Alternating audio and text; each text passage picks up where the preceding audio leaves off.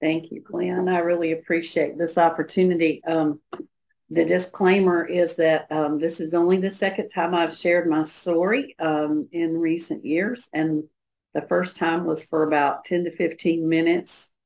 Um, I'm a little bit anxious, but um, I'm I'm grateful to know that I'm in a in a safe place um, where I can just share from my heart. And my my hope is that um, not that I sound really good or that you know, I make really grand and wonderful statements during this time, but really that it might resonate with somebody and touch somebody else's heart um, and, and, makes make a difference um, in some way or other. So I'll um, I'll probably be pausing a lot and like I said, just a little anxious and nervous, but I think the best place for me to start is just to share with you about um, how I got my start in this world.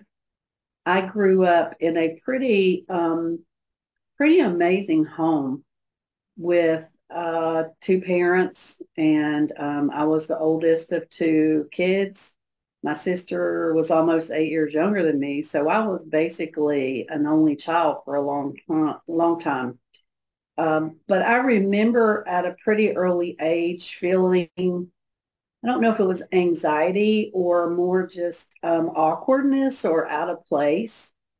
And um, I think that you you know, growing up and and having other kids around, um, trying to fit in and do those things that would would help me feel a little less anxious and a little better about myself. I grew up in a neighborhood that was uh, kind of a brand new neighborhood. And so the families that moved in there were all um, similar. The parents were similar in age to my mom and dad. And there were, were just a ton of kids. There was a, a bunch of us.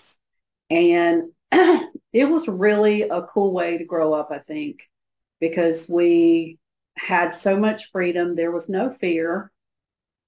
I think today, you know, about kids growing up, and, and I just realized how very special that childhood was to be able to run around outside with everybody, um, not having all the technology and everything. We just spent every day outside that we possibly could. Um, when we started school, we would spend days at school and then spend every moment we could outside. Um, even if it was cold or raining, we just we just congregated. And um, so for me that was really pretty cool. What what i do remember very much is that my dad was a very hard person. He was very stoic. He was very um, the, the emotion i saw the most from him was him was anger. Either he was aloof or he was angry. And my mom um, she was a pretty caring and loving human being and still is today. Both my parents are still living. I grew up kind of between two worlds though, because in the summertime, from the time school was out until school started again, a lot of my days were spent on the farm where uh, my maternal grandparents lived. And they raised tobacco and cows and it was it was a lot of hard work. So even though I kind of grew up in this lower middle class family, I grew up with a really a strong work ethic that was ingrained in me um, from a really early age. And um, my my maternal grandparents were very very loving, but my maternal grandmother, she was a wildcat. She was something else. Um, I love her to this day so dearly and have such good memories. But um, just kind of to talk about who she was because it shaped who I am. She was a very strong person. She ruled with an iron fist. She loved hard, but um, when we were priming tobacco and doing all the things on the farm, you know, her motto was that children are to be seen and not heard. Um, and she she meant it.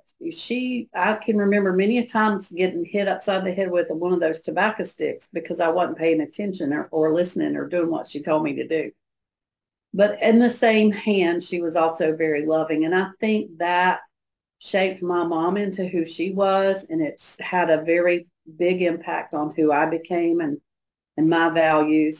Um, that side of my family was very strong spiritually, um, a Judeo-Christian faith, um, Baptist, Southern Baptist, the whole nine yards. So I grew up learning a lot about hard work and, and ethics. Um, I, I grew up in the church and in, you know, from a very young age, just to remember having a sense of God and, and a sense of purpose and um, a desire, I think, to know more about that. So the first time I was introduced to any type of mood altering chemical, and I think back about this, um, I was probably seven or eight years old, and I began having um, this really bizarre pains in my stomach that people didn't know what to do with. Doctors didn't know what to do with. And so my mom um, talked to the doctor and he sent her to the drugstore to get paregoric, which is opium, really. I mean, it's, it's pretty intense medication. And so when I look back, I think, you know, that was probably the moment that addiction was triggered in my body. I don't remember craving it or anything like that. Um, but what I do remember is just a few years later, I started experimenting very rarely, but with alcohol. And then um, I think I was about 14 years old, and some of the older neighborhood girls, I started hanging out with them, and they were smoking pot. And one night, they decided we were going to camp out in our backyard. And so we had these tents in the backyard and they commenced smoking marijuana in mass quantities to the point that I I I couldn't see anymore.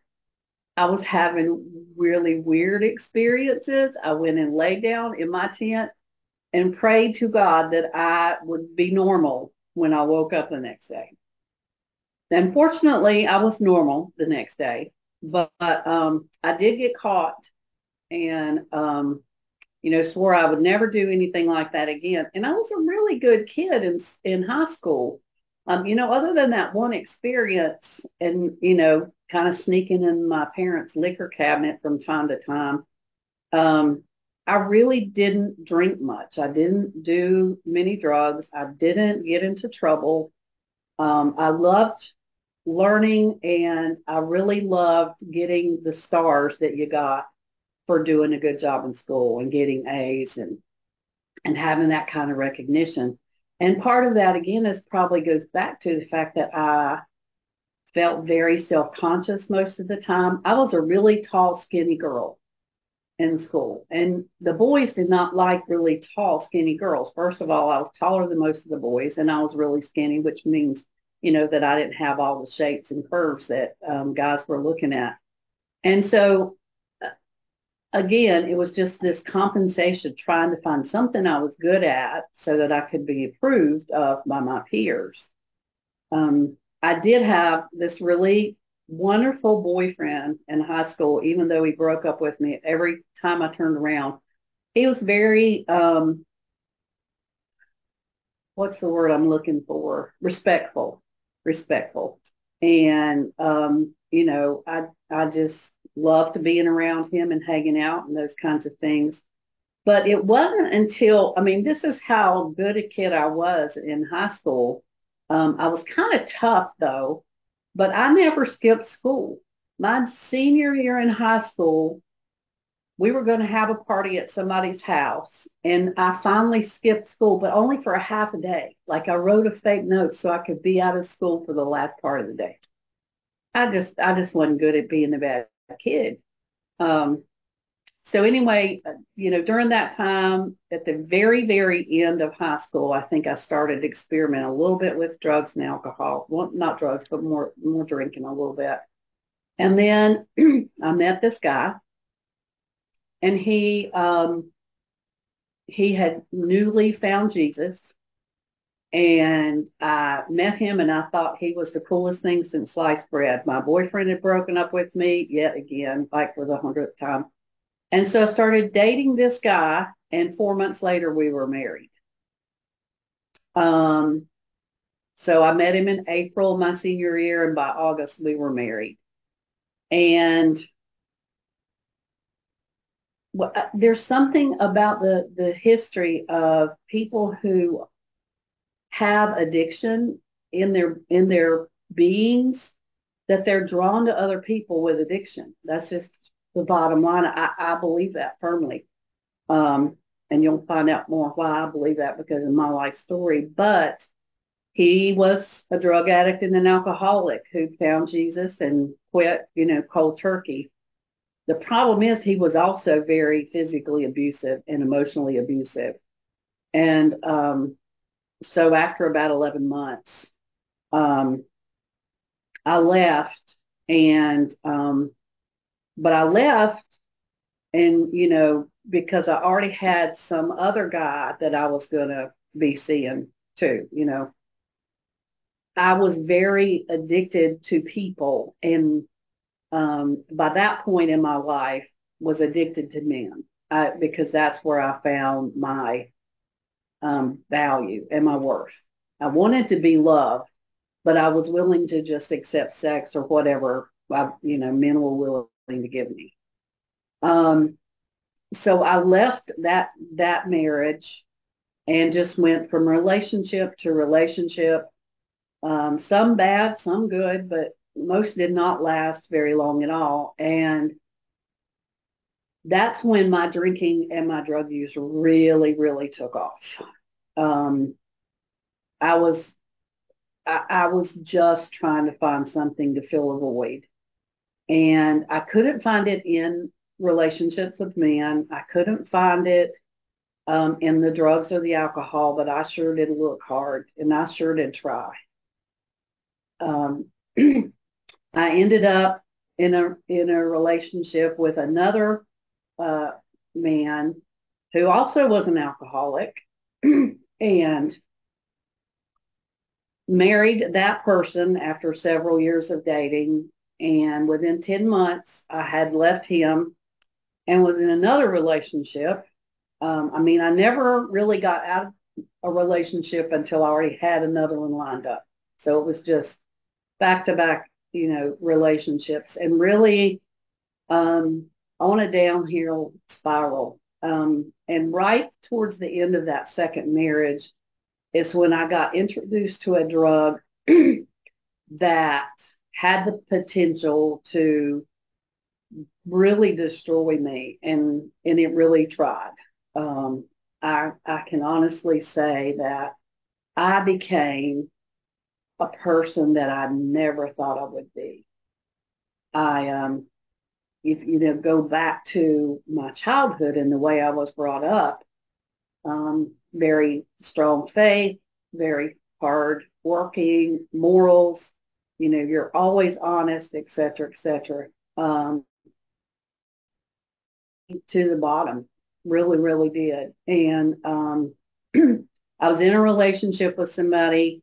We ended up um, doing drugs all the time. I don't know how I managed to keep a job. But also during all this period of time, here I end up going back to school. I had been in nursing school right after high school, dropped out after a year, um, when I separated from my first husband. And, you know, I went to work as a secretary because that's what people did. If you, you know, dropped out of college, um, women became secretaries. So that's what I did. But for some reason, I ended up back in college and pursuing a degree in psychology. I don't know how I pulled that off. I worked full time Monday through Friday, five days a week, and I went to school full time at night. So I worked until five. I went to school every night until nine and partied my ass off. I mean, I partied and partied like crazy. And there were times that I would be up for days at a time and I would call out of work Um, sometimes I'd skip school to be able to party. I don't, I don't have a clue how I managed to, to pull that off. But um, towards the end of that debacle, um, I really got sick and tired of that lifestyle and, and dealing drugs to support my habits. Um, I, I was just tired of it. I was just sick of it. And it was only by the grace of God that I was able to walk away. That and my I owed my dealer way too much money and couldn't get any more of my drug of choice. So um, uh, then here I go into graduate school. Well, the the man that I was dating for all of this period of time, um, I didn't want to be without. Now remember, I could not be alone. I had to have a man. I had to be in a relationship. And but I had already sworn off. I tried twice this marriage thing and it didn't work out for me. So I swore I was never getting married again. Um, I applied to a, a very nice college, Wake Forest University, and got accepted there and got a full scholarship and got a job working as a hall director of a residence hall full of um, freshmen women, 200 freshmen women. The problem was that they didn't agree with cohabitation. And so I could have the job and I could go to school there, but my boyfriend could not live with me. And I didn't know how to do that. So we got married. Marriage number three. And I was probably 25, 26 years old by then. Not very old. And when I went to graduate school, I went to graduate school to be a counselor because I was going to teach people how not to do that one drug that got me in trouble. The rest were okay, but that one, you know, I was going to be a substance use counselor. And when I started doing my internship, I was introduced to AA and to 12 steps because I started my internship in the treatment program. And I was just floored by what I learned and what I heard. I decided that I needed to have AA in my life, that I needed to get sober. This uh, aha moment of the reason that I have all these problems in my life and the reason that I struggled so much is because I was an alcoholic and a drug addict. And if until I until I dealt with that and reconciled that in my life, nothing else was going to be good. Nothing. So I started going to AA and um, I got a sponsor. I went to, to meetings twice a week and life was really good. But also during that time, um, that last year, um, when we were living in a residence hall full of 200 women, my husband at the time then was drinking pretty heavily and um, he got a DUI. Not to tell his story, but he did. He got a DUI and wiped out several cars on campus. And so I I worked for, you know, the the school, and my husband has had a DUI, and somehow that did not end up costing me my job. Um, but it was kind of an eye opener for him as well. So eventually we both started going to AA and got into treatment and not into treatment, but, but started working a program. Um, and I did that for quite some time. And, and then I graduated from, from, um, college. I had a baby the same year that I graduated from, with my master's degree. And And then on top of all of that, there was this this group of ladies who studied the Bible. And my mom and my aunt were really important in my life. And um, they started, you know, asking me to go to this this group where these ladies are. And I did. And that was probably when, for me, I developed this relationship with the God of my understanding that really made sense to me and really gave me a sense of peace that I had never had before. It was what I was looking for. It was exactly what I needed and had been longing for all those years that I was in relationships, being rejected or feeling rejected, in using drugs and alcohol. It filled that big hole inside of me in a way that um, I just can't even begin to describe. So, for the next 26 years, I stayed sober. Um, I had this relationship. I got very, very involved in um, church work and community work um, and service. And after a few years, decided that I didn't have time for AA. And I um, I became a, a mom of three boys eventually. God bless me, yes. And um, and I I did a lot of community work, um, a lot of work in the church, and then I worked part time um, in different different treatment facilities, and I was just a busy lady. I was really really busy. And at some point, I decided that wasn't enough, so I'm going to homeschool these three boys. So I did. Three different grades.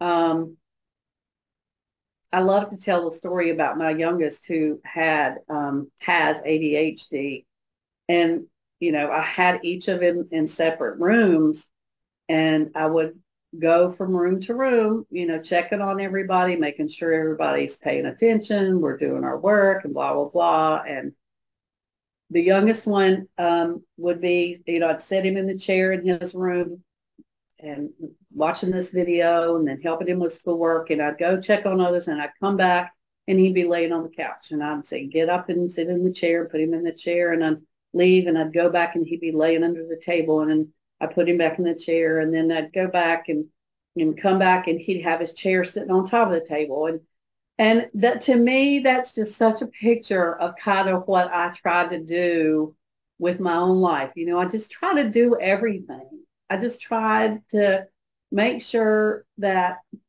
I could do it all. I, and and I was probably successful at that in a lot of ways, but so often there I didn't work on me. You know, so gradually that needy, kind of angry person started to fester again. And you know, it never, it never to me was that bad, but, um, but it, it, I just didn't work on me. I just didn't take care of cleaning my house the way I needed to. Um, as a counselor, you know, I'm supposed to know how to handle everything. And um, one of my kids was really, he just really struggled emotionally with a lot of stuff and I couldn't fix that. Um, my husband, who I'm still married to, thank God today, um, we never, we just didn't see eye to eye on a lot of things. And rather than focusing on me, I was always trying to fix him. Eventually, you know, I was just an unhappy person again. I mean, I had a sense of peace and I had my faith that never, ever, ever left. But there, there were just problems. And then when, when you're a person who, like I am, and I put all of my faith and all of my hope in being able to raise these kids, that was the most important thing, to love the God the way I knew God.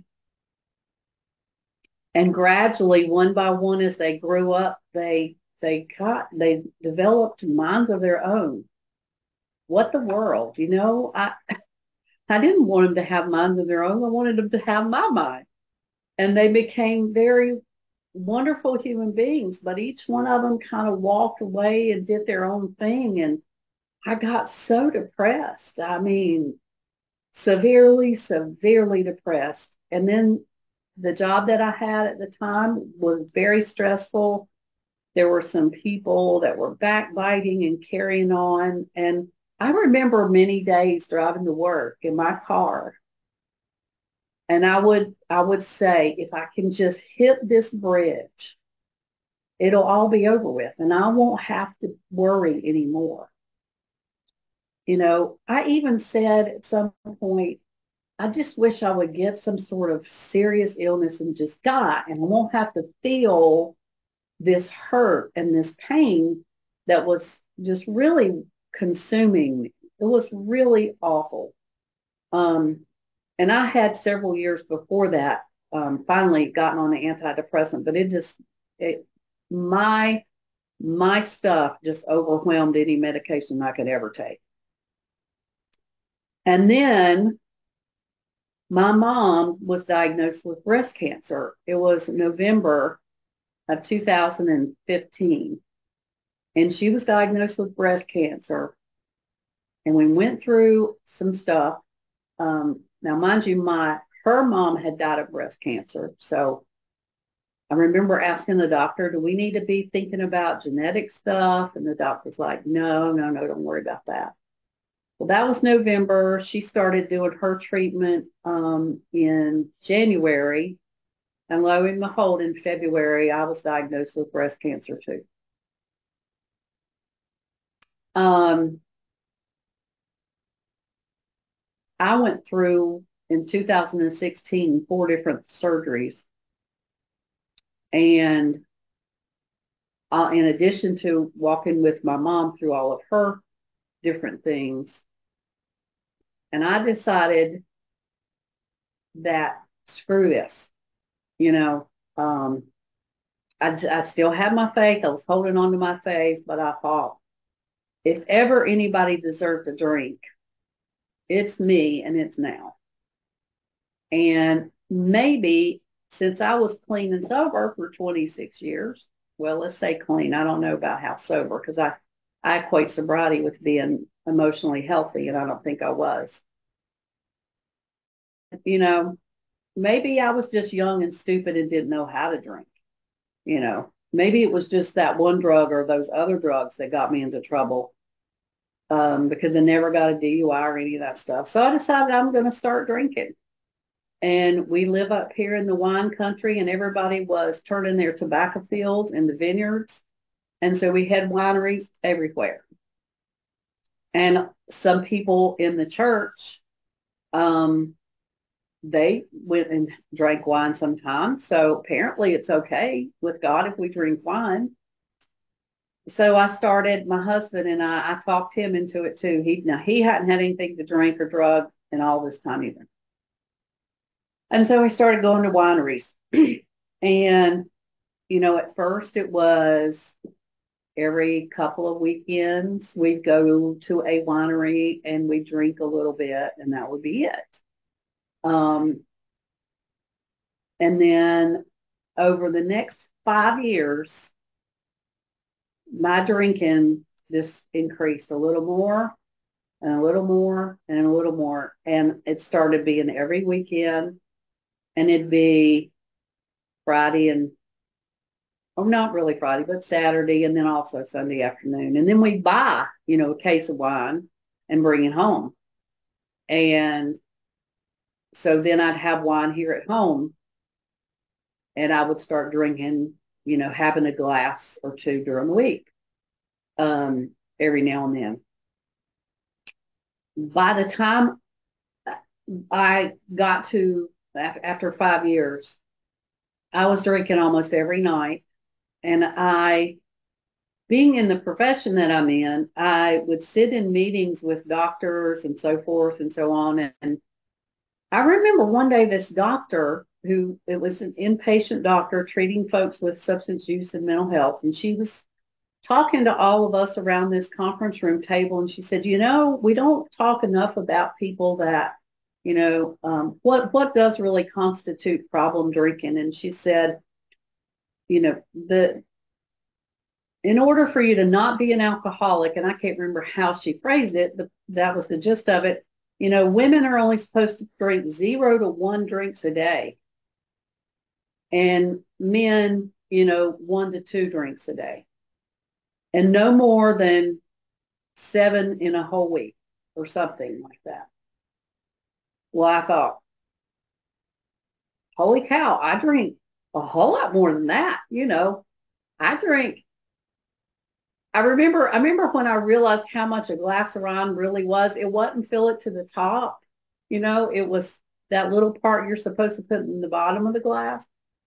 Um, and I began to realize how much I was really drinking because I wasn't drinking by the glass. I was drinking by the bottle at that point. And you know, saying to me you're only supposed to drink seven glasses of wine in a week, I'm like, I do that in one day. So I'm going to try to control my drinking. So I tried that for a little while. Didn't work. Didn't work for me at all. And um, there were times that I would black out and not remember things. And that was the frightening part for me. I don't remember that ever happening before and um, I was I would be embarrassed that maybe I said or did something that I couldn't remember. Now, granted, by this point we would go to the winery and drink a few drinks, but then bring it home, and so most of my drinking was at home. Um, but every now and then, you know, I'd go to my sister's pool or something, and I remember, you know, not remembering how I got home from there one day, and and so that blacking out just really scared me. Um, and the more that happened, the, the more I questioned whether I was an alcoholic. And there's that statement in that says, um, in our opening statements, we read, if you think you have a problem with alcohol, you're welcome to attend this meeting. And what I started to hear in that when I first came back to AA was, if you think you have a problem with alcohol, for me, by the time I asked that question, I did have a problem with alcohol. Um, but the last drink, the last last drunk that I had, I was I couldn't get high enough anymore on wine, so I was drinking alcohol mixed. I mean, like liquor mixed with wine, and I was starting to compare the alcohol content and get the most you know potent wine I could find or the most potent liquor I could find so that I could get high. And um I drank and drank and drank one night, and the next it was a Friday night, and the next day um, we were supposed to keep my grandson, and I was so sick that I had to lay back down. Tim Tim went in, my husband went and got um, our grandson and brought him home, and I couldn't be awake. I couldn't function. I had to go lay back down for a few more hours, and that was when I said, "I'm done. I, I am done. This is enough. I want to be here for my grandchild. I want to be the the kind of yaya that he needs. And so um, it was happened to be during COVID also. I called a friend of mine that I used to go to the wineries with who had been sober at one point before she and I started going to wineries again. I said, Where can I go to a meeting? And she told me, but then I found online AA. And I started going to AA meetings and I realized I'm an alcoholic of the hopeless variety. And I really, really want to be sober. And I was such a mess. And people were so good to me. They were so kind. Um, they would say good morning to me on these meetings. I remember being in some meetings in the afternoon on the way home and ladies from that group reaching out to me and taking me into another group room. And um, I, I tried multiple times to connect with people in face to face groups, but there was something off about that. And then I found this group called Sober Start that met in the morning. And I could be a part of that group every day on the way to work. I, it was kind of a way to start my day. And um, I had never stopped having my time with God in the morning, but now I would have my time with God in the morning, get ready to go to work, and then have my time with my sober family. And then I got a sponsor, and then I relapsed. I uh, I had such a strong craving to drink. Oh, it was terrible. And um, they they sell wine at the um, Dollar General, folks, and the Dollar Generals are everywhere. You can get it on the way home, and my car just pulled in there and got a bottle of wine, and I drank the whole thing that night. Told my sponsor the next day, and she said, "Well, you know, you got to tell it." So I did in the group. I said, "I'm back on day one, folks." And I did good for about two months. And then that same craving got a hold and I relapsed a second time. And that was August the 19th. And I talked to my sponsor again. And I was just tired of screwing up all the time. And I said, this is it. I got serious about the program of AA. I started working with my sponsor. I started attending a big book meeting with Glenn. Um, and I started reading the big book and I started, I rem, I will never forget Glenn, you know, he had these, he had these things on his fingers, you know, you don't drink, you go to meetings, you work the steps, you get a sponsor and you read your book. Well, I always kept forgetting read your book for some reason, but I started doing that too. And I started going to meetings every single day and I started talking to my sponsor and I started working the steps and I I got a lot of stuff off my chest and out of my heart that really had been just keeping me down for years and years and um, you know I realized there's just a lot of things that I kept inside and and I realized that even in 26 years of sobriety, being sober, um, not drinking, that I still um, never really dealt with me. So I started dealing with me and working with me and letting God do for me what I couldn't do for myself and changing me what I couldn't change in myself. Um, I also have sponsor, um, the first sponsor that I had, um, I just, I didn't feel like, like that. It, there was quite a connection wonderful, wonderful human being with lots of sobriety. Love her still to this day. But I needed somebody that was really going to help me be accountable to doing this work because I'd already not done the work, you know, before for 20 some years. And what I began to realize was God does for me what I can't do for myself, but there's a part that's my responsibility. And the only way that I can stay sober is to stay connected to AA because it's only through AA that I can remember I'm an alcoholic. And what that really means for me is I can never, ever, ever drink again. And I will forget that if I don't if I don't do what I need to do, if I don't go to meetings, call my sponsor, don't drink, work the steps, and read the book, I'm liable to forget that I'm an alcoholic. Being an alcoholic, however, has been one of the best things for me these last few years because it gets me out of myself at the same time, it makes me look at myself and stop trying to focus on what's wrong with everybody else. I do that with my family, not so much my friends, but my family. And I've, it's given me the courage even to ask my kids, what does my best me look like? And what does my worst me look like? And to be able to hear from them. These are the things that we see in you, mom, when you're doing really good. And these are this is the kind of person, this is the kind of mother and person that you are when you're sober and you're working on yourself and your your best self. But this is what you look like when you're not. And that's kind of hard.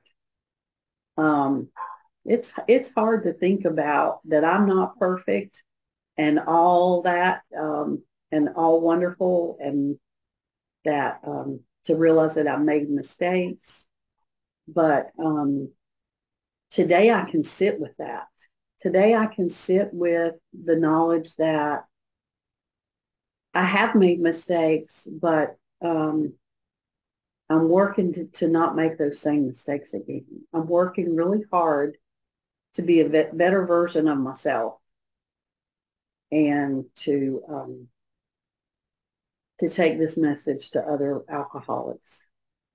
Um, I'm I've got a sponsee, um, and I the person that I asked when I first started back to AA, the one that I used to go to um, the wineries with, about uh, a month or so after I started going to meetings, no, a, a month or so after my last relapse, she called me and she said, "Tell me, tell me what you're doing." And she's um, one month shy of my anniversary, so she'll celebrate next month two years. And um, it's just kind of come full circle for me. I don't know if that's made any sense to anybody or if it's helped anybody, but I talked for a long time, much longer than I thought I would. So um, I'm I'm done. I'm talked out. Thank you so much, Glenn, for giving me the opportunity to speak today. I was really scared to do it, but I'm grateful um, to AA and to you and all these sweet faces on this screen.